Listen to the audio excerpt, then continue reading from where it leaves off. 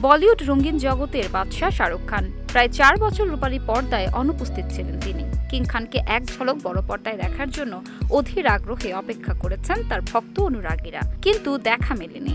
অবশেষে দীর্ঘ বিরতির পর গত জানুয়ারিতে পাঠান সিনেমার মাধ্যমে আবারও বড় পর্দায় দেখা দিলেন বলিউড বাদশাহ। তার রাজকীয় প্রত্যাবর্তন মুগ্ধ করেছে সিনেমা প্রেমীদের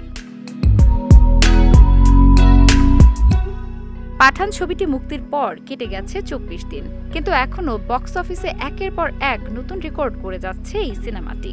এ পর্যন্ত ভারতে ছবিটির মোট আয় দাঁড়িয়েছে বাংলাদেশি মুদ্রায় প্রায় ছয়শো পঁচাশি কোটি টাকা। আর চব্বিশতম দিন পর্যন্ত বিশ্বব্যাপী মোট আয় দাঁড়িয়েছে প্রায় এক হাজার দুশো সাতান্ন কোটি টাকারও বেশি। আর এখন পাঠান ছুটছে তেরোশো কোটি টাকা আয়ের ক্লাবের দিকে।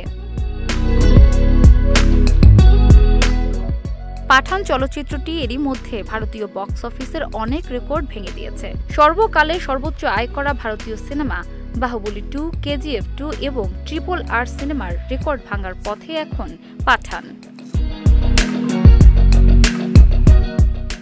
দুশো কোটি রুপি ব্যয়ে নির্মিত হয়েছে পাঠান সিনেমা। সিদ্ধার্থ আনন্দ পরিচালিত এ ছবিটি প্রযোজনা করেছেন আদিত্য চোপড়া। চলচ্চিত্রটিতে শাহরুখ খানের সাথে আরও অভিনয় করেছেন দীপিকা পাড়ুকোন, জন আব্রাহাম ও ডিম্পল কাপাডিয়া সহ আরও অনেকে। তাছাড়া একটি অতিথি চরিত্রে বলিউড ভাইজান সালমান খানকেও দেখা গেছে।